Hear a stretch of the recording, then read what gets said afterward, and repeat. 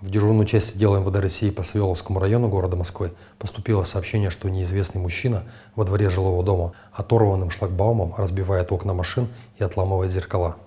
На место происшествия незамедлительно прибыл наряд полиции.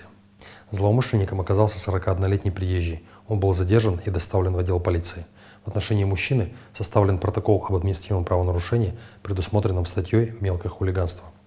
Полицейским установлено, что подозреваемый, действуя из хулиганских побуждений, сломал шлагбаум, установленный на въезде во двор жилого дома, а затем, используя его как орудие, стал разбивать им окна автомобилей, припаркованных на стоянке, и отламывать у них зеркала.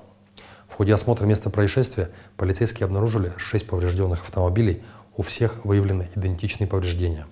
Общая сумма материального ущерба, причиненного владельцам транспортных средств, составила более 160 тысяч рублей. Следствием отдела МВД России по Савеловскому району города Москвы возбуждено уголовное дело по статье 167 Уголовного кодекса Российской Федерации. В отношении подозреваемого избран мера пресечения в виде заключения под стражу.